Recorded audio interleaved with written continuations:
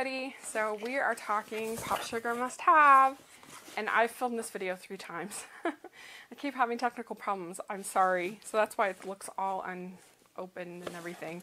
But there you go. What do you do? So this is, I think, a really fun box. Popsugar Must Have is a monthly subscription service that focuses on trends, and it's really one of my favorites, even though it gets a lot of flack because they have had a they had a stretch of really lame boxes right after they increased the price, which was a problem. But they've been pretty good for like the last six months, I feel like. And I think this is a really good box. It's $39 a month. I, I pay 20 and I pay the lower rate because I was in early. But yeah, that's how much it costs now. But it's a great box if you're only going to get one subscription service. This is the one that I would recommend because it has such variety. And you can get a little bit of food, you get a little bit of all different things. First item is in this burlap bag. And it's like a little cutting board that's shaped like a heart. And it's from Acme Party Box Company. And I think this would be good for like for like a little bit of a cheese board or something. If you were having a romantic dinner and you had some cheese, that would be really pretty. And then it has a little cheese knife. Okay, then we have from Tarte.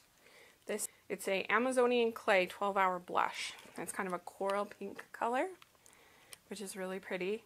And full size, nice big size. We have a nice, beautiful bottle. It's so attractively packaged, I think. This is Bubble Bath, Rose Water Bubble Bath, and it's from U.S. Apothecary.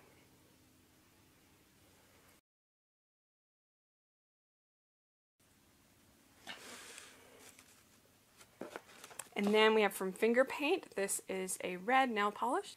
And then from Figs and Rouge, we have a lemon berry lip balm, and this tastes kind of like fruit punch. So it's, it's pretty yummy. and then we have from, from Bobble BaubleBar, we have a little necklace and it has a little cupid's arrow on it, which is really adorable, I think.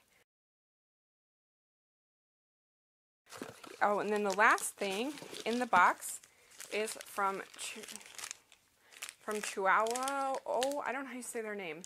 It's a Ravishing Rocky Road bar. It has almonds and sea salt and marshmallows and milk chocolate, which seems really yummy.